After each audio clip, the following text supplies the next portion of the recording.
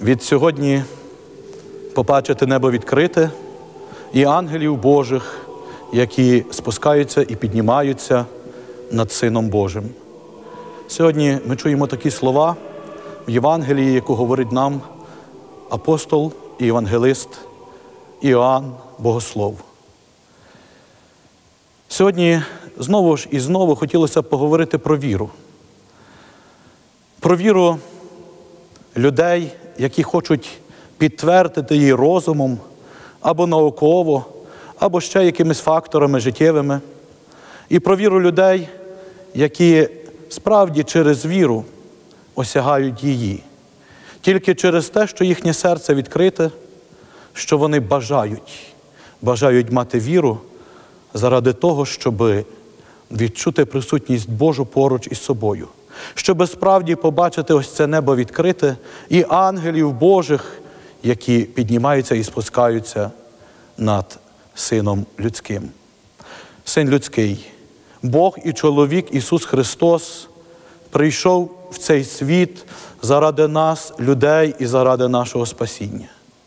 І кожен із нас, хто приходить в храм, хто ввійшов в цей великий піст і поститься, хто шукає, шукає дорогу, яка веде до істини, приймає в своє серце Бога, приймає Його жертву за кожного із нас, бо Він розп'явся за кожного із нас, за весь рід людський.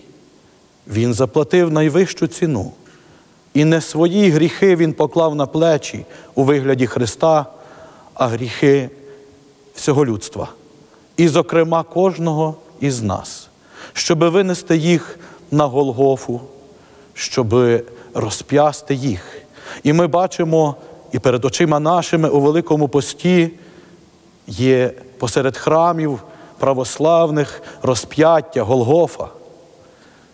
Коли ми споглядаємо на Спасителя і споглядаємо на нього як на царя слави, ми не бачимо на ньому ран від побоїв. Ми не бачимо його обвислого тіла, а бачимо Його розп'ятого Христа як переможця, як царя, який вийшов на хрест і восів, наче на троні, цар слави. Його розпростерті руки обіймають кожного із нас, щоб ми відчули Його тепло, щоб ми відчули Його жертву, яка принесена за нас, і були вдячними Йому за великий дар, дар життя вічного. Сьогоднішню неділю ми святкуємо велике свято, торжество православ'я, перемогу істини над злом і неправдою. Сьогоднішній день Свята Церква Православна, особливо земля Чернігівська, шанує пам'ять Пресвятої Богородиці і її чудотворної ікони Дубенської Чернігівської, яка у 19 столітті потрапила на Чернігівську землю із землі Рівенської, із Дубно. Історично це ікона князів Острозьких. Але вона має велику благодать. І через цю ікону багато зцілень відбувалось і в 19 столітті, і в 20 столітті. І ось, починаючи із 2000-х років, знову вона проявилась великими зціленнями і мироточінням. До сьогодні ми звертаємось до неї і молимось перед чудотворною іконою. Не маємо іншої допомоги, не маємо іншої заступниці, крім тебе, о Богомати. А Божа мати чує нас і покриває нас чесним своїм омофором.